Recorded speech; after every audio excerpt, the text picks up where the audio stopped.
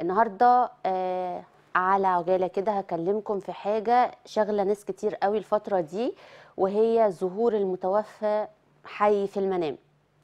ناس كتير اتكلمت آه، عن الموضوع ده وناس كتير قوي بتسأل آه، إن حد جالي في المنام وهو حي فأنا شايفة إن هو حي أو حاسة إن هو اندفن حي. طب هل ده حقيقي ولا آه هنشوف. اولا ظهور المتوفى في المنام بيكون دايما رسالة. دايما بيكون رسالة لأن هو في دار الحق وإحنا في دار الباطل فهو بيبقى جاي لنا برسالة معينة من دار الحق.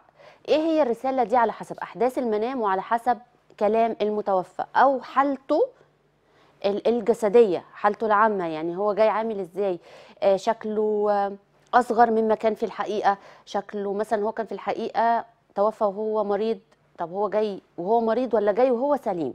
بتفرق جدا.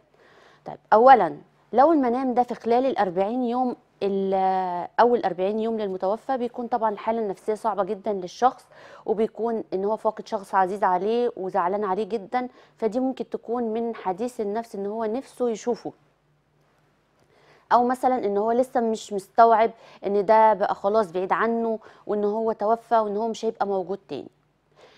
آه الكلام اللي بيجي بيه المتوفى كلام حق. يعني لو هو جاي بيكلمك في حاجة الرسالة بتاعته دي لازم تاخد بيها جدا. لو جاي المتوفى ده مثلا بيعمل حاجة كويسة بيتصدق أو بيطلب منك صدقة أو مثلا بيقول لك روح اطعم فلان أو اسأل على فلان بيبقى دي حاجات أنت نفسك تعملها أو أنت حقيقي بتعملها في الحقيقة. فبيبقى كده أنت على آه صالح من أعمالك أو على عمل صالح أو مثلا إن أنت كده آه، طريقك اللي أنت ماشي فيه سليم.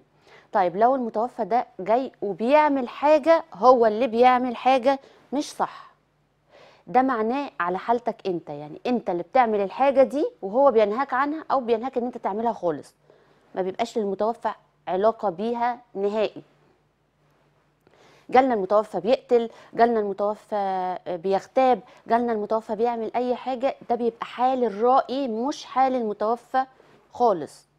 طيب لو ال- الرائي ده سوري المتوفى ده جالنا مثلا بينبش في في القبور أو مثلا بينبش في القبر بتاعه عاوز يفتحه ده مش معناه إن هو حي خالص.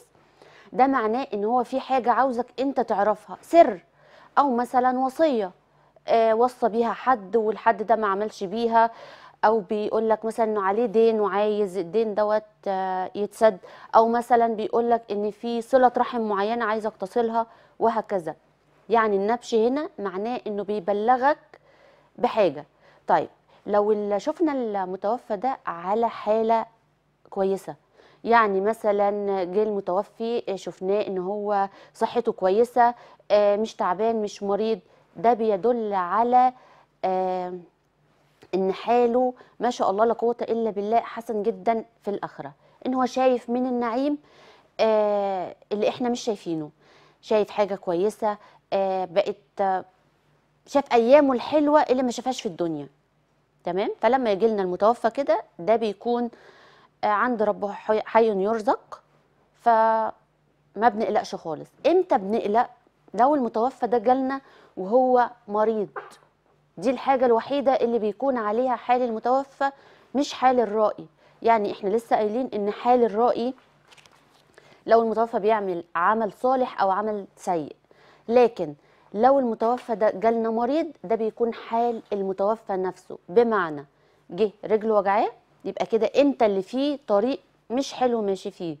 أو في مثلا آه، قطيعة لصلة رحم بينك وبين أخ. لو جه مثلا وبيشتكي من من بطنه ده معناه إن في مشاكل هتحصل بين العيلة وبعضها. لو مثلا بيشتكي من راسه معناه إن في مشكلة كبيرة وهو لو موجود ما كانش هيقبل إن ده يحصل. وده عادة بيبقى حاجة بين إخواته أو أولاده في بيته. طيب لو المتوفى جالنا وهو مثلا عينه تعباه آه، معناه إن في درجات خير ونعيم هو مش شايفها. فدي لازمها صدقات وأكتر حاجة وكل ح... عنها ولازم كل مرة نقولها إن لما نشوف متوفى في المنام لازم نقوم نخرج له صدقه وندعي له. لأن هو بيفكرنا بنفسه زي ما بيفكرنا إن في آخرة وفي اتعاظ